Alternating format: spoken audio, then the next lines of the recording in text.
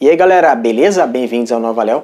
Pessoal, é um vídeo aqui bem rapidinho, tá? Greve dos auditores fiscais. Os auditores estão de greve aí já tem um bom tempo, já fiz vários vídeos aqui para vocês, né, atualizando sobre o assunto, mas recentemente eles, eles anunciaram uma paralisação.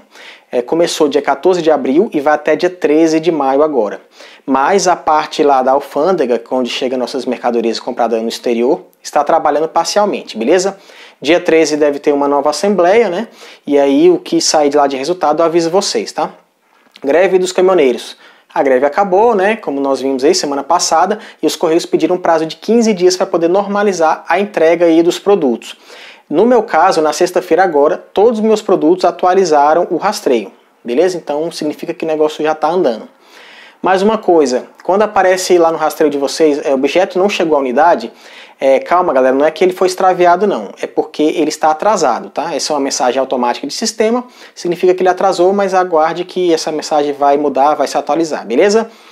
É, minha planilha de cupons de desconto, hoje saiu muita coisa lá, OnePlus, é, fone Bluetooth, tá? Dá uma olhadinha lá, muito desconto bom lá, Banggood e Gearbest, tranquilo? Dá um like nesse vídeo para me ajudar, se inscreve no canal se não for inscrito, valeu, obrigado e tchau!